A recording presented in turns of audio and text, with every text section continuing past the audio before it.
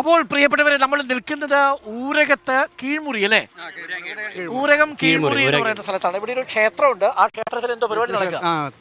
ഭാഗവത സപ്താഹം. ഭാഗവത സപ്താഹം നടക്കുക. ഏഴ് ദിവസത്തെ പരിപാടി. എട്ട് ദിവസം. എട്ട് ദിവസം. സപ്താഹം കഴിഞ്ഞ ഒരു ദിവസം കൂടി. ആ അപ്പൊ ഏഴ് ദിവസത്തെ പരിപാടിയാണ്. അല്ലേ? അവിടെ ഊരകത്താണ്. വേങ്ങരക്കടുത്താണ് അല്ലേ? അപ്പൊ വേങ്ങരക്കടുത്ത് ഊരകം കീഴ്മുറി എന്ന് പറയുന്ന സ്ഥലത്താണ് നമ്മൾ നിൽക്കുന്നത്. അവിടെ ക്ഷേത്രത്തിൽ ഭാഗവത സപ്താഹം നടക്കുകയാണ്. ഞാൻ ചില മെസ്സേജുകൾ വായിക്കുകയായിരുന്നു. നമ്മുടെ വാർത്തയും പ്രേക്ഷകരെ അറിയിച്ചുകൊണ്ടിരിക്കുകയായിരുന്നു.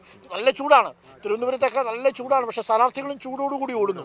ഇവിടെയും ചൂടിന് കുറവൊന്നുമില്ല. അല്ലേ? തെരഞ്ഞെടുപ്പ് ചൂട്. ഇലക്ഷൻ നല്ല ചൂടാ. അല്ലേ? നല്ല ചൂടുണ്ട്. ഇലക്ഷന് ചൂട്. ഓ നല്ല ചൂടന്നെ സജീവമാണ് അല്ലേ? ആ മൊത്തത്തിൽ എങ്ങനെ ഇവിടെ മണ്ഡലത്തിലെ ഒരു സാധ്യതയൊക്കെ? സാധ്യത. അതെ സാധ്യതയുണ്ട്. അത് വർഷങ്ങളായിട്ട്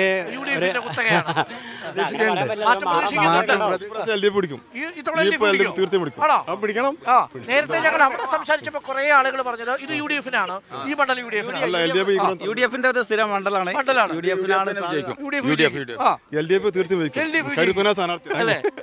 എന്താ എൽ ഡി എഫിനോട് സാധ്യത ഉണ്ടോ? യു ഡി എഫ് എഫിനാണ് സാധ്യത അല്ലേ? യു ഡി എഫ് കറക്റ്റ് ആയിട്ട് വിജയിക്കും. ആണല്ലേ? ഈ ആ നമസ്കാരം ചേച്ചി. സപ്താഹത്തിന് എത്തിയതാണ്. മക്കളൊക്കെ ഉണ്ട്. നമസ്കാരം. എന്താ പേര്? അഖില. അഖില എന്ത് ചെയ്യുന്നു? എന്ത് ചെയ്യുന്നു? ഹൗസ് വൈഫ് ഹൗസ് വൈഫാണ് എന്താ ചേച്ചി ചെയ്യുന്നത് എല്ലാവരും ഹൗസ് വൈഫാണ് രാവിലെ ജനകീയ? ഹോട്ടൽ. ജനകീയ ഹോട്ടൽ. ഇപ്പൊ എത്ര രൂപയ്ക്ക് ഭക്ഷണം കൊടുക്കുന്നത് മുപ്പത് രൂപയ്ക്ക്. മുപ്പത് രൂപയ്ക്ക്. കൊടുക്കാൻ പറ്റുന്നുണ്ടോ? കൊടുക്കും. ബുദ്ധിമുട്ടാണോ? ബുദ്ധിമുട്ടാണെങ്കിലും കൊടുക്കാനേ വഴിയുള്ളൂ. സാധനം സപ്ലൈകോയിൽ നിന്ന് കിട്ടുന്നുണ്ടോ? അരി മാത്രം. അരി മാത്രം കിട്ടും. അല്ലെ? ബാക്കി സാധനങ്ങൾ കിട്ടുന്നില്ല. കിട്ടിയിരുന്നെങ്കിൽ ലാഭമായിട്ട് നടത്താൻ പറ്റുമായിരുന്നു. ആൾക്കാർ തരുന്നുണ്ടോ? വരുന്നുണ്ടോ? ഭക്ഷണം കഴിക്കാൻ? ജനകീയ ഹോട്ടൽ ഊണിന് കൊടുക്കുക? ചോറ് സാമ്പാറ് മീൻകറി ഉപ്പേരി അച്ചാറ് പപ്പടം. മീൻകറി കൊടുക്കും. അല്ലേ? മത്തിയൊക്കെ ആയിരിക്കും കൊടുക്കുക. അല്ലേ? ക- കറി എന്തെങ്കിലും കൊടുക്കും. കറി എന്തെങ്കിലും കൂടെ കൊടുക്കും. ലാഭകരമായി എത്ര നാളായിട്ട് ഇപ്പൊ പോകുന്നു? മൂന്ന് വർഷമായി. മൂന്ന് വർഷമായിട്ട് പോകുന്നു. ഇപ്പൊ സാധാരണക്കാരെ ഭക്ഷണം ഊട്ടുന്ന ജനകീയ ഹോട്ടൽ നടത്തുന്ന പ്രൊപ്പറേറ്ററാണ്. പേര്? ഗിരിജ. ഗിരിജ. എന്താ നമ്മുടെ പേര്? കമല. കമല. നമ്മുടെ പേര്. ആ. സുചിത്ര. സുചിത്ര. ഷൈമ. എല്ലാരും ഒരേ പ്രദേശത്തുള്ളവരാണോ? ഏ, അയൽവക്കക്കാരാണോ നിങ്ങൾ എല്ലാരും അപ്പൊ, എല്ലാരും. എല്ലാവരും അയൽവക്കക്കാരാ. അപ്പൊ എല്ലാരും വണ്ടി പിടിച്ചേക്ക് പോകുന്നതാണോ രാവിലെ? അല്ലല്ല. ഞങ്ങൾ സമീപത്തുള്ളവരാണ്. സമീപത്തുള്ളവരാ? ഇവിടെ വീട് ഇവിടെ അടുത്ത് ഇവിടെ വീട്. അപ്പൊ ഈ സപ്താഹത്തിലെത്തും. ഏഴ് ദിവസം വരും. അല്ലേ? മൊത്തത്തിൽ ഏഴു ദിവസം വരും. ഓ മക്കളൊക്കെ എന്ത് ചെയ്യുന്നു? മോളിന്റെ പേരെന്താ? എന്താ? അയന ജ്യോതി. അല്ലേ? ആ ആ, എന്ത് ചെയ്യുന്നു മോൾ? ഏത് ക്ലാസ്സിലാ? L K G. ഇതാരുടെ ആ അത് ശരി. എല്ലാ മക്കളും നമ്മുടെ മക്കളെ പോലെ. അതാണ് മലപ്പുറത്തിന്റെ ഒരു പ്രത്യേകത അല്ലേ? രാവിലെ വരും. രാവിലെ ആറു മണിക്ക് വരും. വൈകിട്ട് തുടങ്ങും. രാത്രി നമസ്കാരം. സപ്താഹത്തിൽ പങ്കെടുത്തോണ്ടിരിക്കുകയാണെന്ന് ഒരാഴ്ച ഇവിടെ വന്നിട്ട്. ഒരാഴ്ച ഇവിടെ വന്നിട്ട്. ഇനി ഇത് കഴിഞ്ഞ് കഴിഞ്ഞിട്ടേ പോവുള്ളൂ. പരിപാടി തിങ്കളാഴ്ച കഴിയുള്ളൂ. ചൊവ്വാഴ്ച പ്രതിഷ്ഠാദിനാണ്. ചൊവ്വാഴ്ച പ്രതിഷ്ഠയാണ്. എന്താണ് ഇവിടുത്തെ പ്രതിഷ്ഠ? ഇവിടുത്തെ വിഷ്ണു ഉണ്ട് വിഷ്ണു അയ്യപ്പൻ ആ. ഗണപതി. വിഷ്ണു അയ്യപ്പൻ ഗണപതി ഇതെല്ലാം പ്രതിഷ്ഠയുണ്ടോ? ആ, എല്ലാം ഉണ്ട്. ക്ഷേത്രം എനിക്ക് തോന്നുന്നു പുനർനിർമ്മിക്കുകയാണോ ചെയ്തത്? ആ പുനർനിർമ്മി അല്ല പഴയ കാലത്ത് പഴയ കാലത്തുണ്ടായിരുന്നതാണ് പുനർനിർമ്മിച്ചു. പുനരുദ്ധാരണം ചെയ്ത് തൊണ്ണൂറ്റി എട്ടിലാണ് പുനഃപ്രതിഷ്ഠ. അത് വളരെ ഇതായിരുന്നു. ഇത് ഊരാൾ ഊരാളന്മാരുടെ ക്ഷേത്രമായിരുന്നു. പിന്നെ കമ്മിറ്റിക്ക് വിട്ടു തന്നതാണ്. ഇപ്പൊ കമ്മിറ്റി ഊരാളന്മാരും കൂടി ഒരുമിച്ച് നല്ല മൊത്തത്തിൽ എങ്ങനെയാ തെരഞ്ഞെടുപ്പിനെ കുറിച്ച് ചൂടൊക്കെ വന്നോ? തെരഞ്ഞെടുപ്പിന് ചൂടുണ്ടോ. എങ്ങനെയാ മൊത്തത്തിൽ ഇവിടുത്തെ ഒരു അവസ്ഥ? ആര് ജയിക്കാൻ സാധ്യത? എൽ ഡി എഫ് ആണോ യു ഡി എഫ് ആണോ? ഏതായാലും ഞങ്ങൾ ഏതായാലും നമ്മുടെ പിന്തുണയുണ്ട് സപ്താഹാണ്. ആ പ്രത്യേക സപ്താഹമാണ് സപ്താഹത്തിന്റെ. തെരഞ്ഞെടുപ്പ് വരും ഏപ്രിൽ ഇരുപത്തി വോട്ട് ചെയ്യാൻ പോകത്തില്ല എല്ലാവരും? പിന്നെ, വോട്ട് ചെയ്യാൻ പോകും. നമ്മുടെ അവകാശമാണ്. അത് നമ്മളത് ഉപയോഗിക്കും അല്ലേ? അല്ലേ, എന്ത് ചേച്ചി എന്തെങ്കിലും ചെയ്യുന്നുണ്ടോ? ജോലി? പ്രത്യേകിച്ചൊന്നുമില്ല വീട്ടിലാണ്. ചേച്ചി? ഇല്ല, ചേച്ചി. ആ, ചെയ്യുന്നില്ല. പെൻഷൻ വാങ്ങുന്ന ആരെങ്കിലും ഉണ്ടോ ഈ കൂട്ടത്തിൽ? ആരുമില്ല. പെൻഷൻ പറ്റുന്ന ആരും ആയിട്ടില്ല. എല്ലാവരും ചെറുപ്പക്കാരികളാണ് വിധവാ പെൻഷൻ വാങ്ങിക്കുന്നു അത്രേ ഉള്ളൂ. അല്ലേ? ഓക്കെ.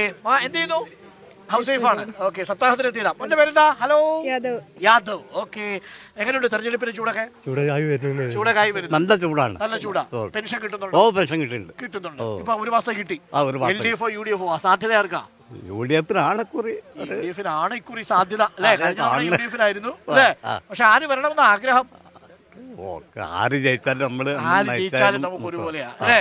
വലിയ മാറ്റമൊന്നും ഉണ്ടാവാൻ പോകുന്നില്ല. എന്നുള്ളൊരു പ്രതീക്ഷയാണ്. അങ്ങനെയും അഭിപ്രായമുള്ളവരുണ്ട്. അപ്പൊ നമ്മൾ നിൽക്കുന്നത് ഊരകത്ത് കീഴ്മുറിയിലാണ് പാട്ട് പാടുന്ന ആരെങ്കിലും ഉണ്ടോ ഇതിനകത്ത്? ഈ കൂട്ടത്തിൽ? കുഞ്ഞു പാട്ട് പാടുവാ? ഇല്ല. ആ അത് ശരി. അപ്പോൾ നമ്മൾ ഇനി മറ്റൊരു വളരെ പ്രധാനപ്പെട്ട വാർത്തയിലേക്ക് കൂടി പോകണം. അപ്പോൾ കണ്ടതിൽ സന്തോഷം. അപ്പോൾ നമ്മൾ ഇങ്ങനെ വന്നപ്പോഴാണ് കണ്ടത് ഇവിടെ ഒരു സപ്താഹം നടക്കുന്നുണ്ട്. അവരെ നമ്മളെ കണ്ടു. ആ എന്തോ പറയാനുണ്ട്? എന്തോ പറയാനുണ്ടോ? എന്താണ്? സപ്താഹം ഞങ്ങൾ വളരെ പ്രതീക്ഷയോടുകൂടി ഇങ്ങനെ കാലങ്ങളായിട്ട് ഞങ്ങൾ ആഗ്രഹമായിരുന്നു. ഇപ്പോൾ അത് സബലീകരിച്ചു തന്നിട്ടുണ്ട്. ഇപ്പോൾ നടന്നിരിക്കുന്ന ഇത് മലയാളത്തിലുള്ള ഒരു പരിപാടിയാണ്. ഇത് എവിടെയും കാണാത്തൊരു പരിപാടിയാണ്. വളരെ സന്തോഷം എല്ലാവരും സന്തോഷമായിട്ട്. എല്ലാവരും നാട്ടുകാരുടെ എല്ലാം പൂർണ പിന്തുണയോട് പൂർണ കൂടിയാണ് പിന്തുണയോട് നാട്ടുകാരാണ് ഇത് നടത്തുന്നത് ഗംഭീരമായ ഒരു കാര്യമാണ്. അങ്ങനെ എല്ലാവരും സന്തോഷമായിട്ട് ഒരുമയോടുകൂടി നിൽക്കുന്നു എന്നുള്ളതാണ് നാടിന്റെ പ്രത്യേകത. നമസ്കാരം. നമസ്കാരം. എന്താ ചേച്ചി പേര്? ഷീജ. ഷീജ. എന്ത് ചെയ്യുന്നു? ഞാൻ ഹെൽത്തിൽ വർക്ക് ചെയ്യുന്നു. ഹെൽത്തിൽ വർക്ക് ചെയ്യുന്നു. ആ ശരി. നാട്ടുകാരുടെ ആരോഗ്യമൊക്കെ എങ്ങനെയുണ്ട്? ഓ നന്നായിട്ട് പോകുന്നുണ്ട് നന്നായിട്ട് പോകുന്നുണ്ട് ആണ് അല്ലേ? മൊത്തത്തിൽ എങ്ങനെ ഒരു രാഷ്ട്രീയ ചൂടൊക്കെ? ആർക്കനുകൂലമാണ് ഇപ്പോൾ ഇപ്പോ ആദ്യത്തെ കാറ്റ്? ആദ്യത്തെ കാറ്റ് ഇവിടെ പിന്നെ പ്രത്യേകിച്ച് പറയാനൊന്നുമില്ല. യു ഡി എഫ് ആര് വരണമെന്നാണ് ആഗ്രഹം. മാറി ചിന്തിക്കണം എന്നാണ് മാറി ചിന്തിക്കണമെന്ന് ആഗ്രഹമുണ്ട്. പക്ഷെ യു ഡി എഫിന്റെ കോട്ടയാണ്. അല്ലേ? ഓക്കെ താങ്ക് യു അപ്പോൾ നമ്മൾ ഇപ്പോൾ നിൽക്കുന്നത് വേങ്ങരയിലാണ്. യു ഡി എഫിന്റെ കോട്ടയാണ് എന്നാണ് പറയുന്നത്. പക്ഷേ മാറ്റം വരണമെന്ന് ആഗ്രഹിക്കുന്നവരും ഇക്കൂട്ടത്തിൽ ഉണ്ട് എന്നതാണ് ഏറെ പ്രധാനപ്പെട്ട കാര്യം.